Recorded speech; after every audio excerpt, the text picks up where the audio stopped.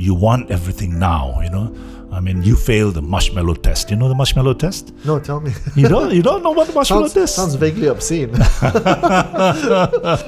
Stanford University did a did a test, uh, marshmallow test, you know, uh, to assess uh, kids.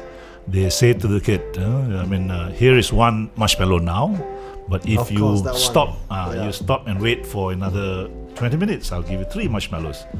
And then they see who are the kids who took the one marshmallow, which means instant gratification, and who are the kids who took the three marshmallows, which is 20 minutes later. And then they studied these guys. 30 years later, they found that the guys who take the three oh, marshmallow, right? yes, are better off than the guys who take only one. so you were that guy that took the three marshmallows after 20 minutes. I would like to advise all these youngsters now, you know, that try to be that uh, that uh, the fellow who postponed consumption by taking the three marshmallows later rather than a single marshmallow now, you know.